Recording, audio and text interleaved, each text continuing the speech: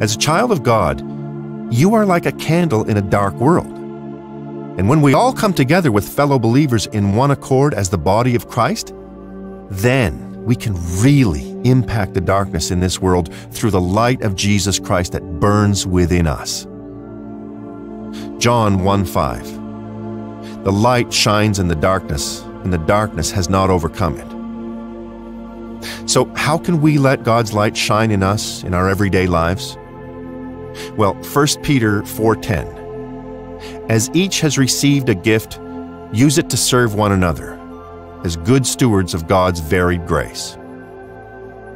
In order to reflect His magnificent glory, God has given each of us unique gifts to serve His body. Some of us are encouragers, some of us are teachers, some of us are worshipers. The beauty of the body of Christ is that we all have different but vitally important roles to play. Whatever your gift is, you can use it as a powerful way to let God's light shine through you. So let the light of Jesus Christ shine brightly in you, even in the midst of great darkness.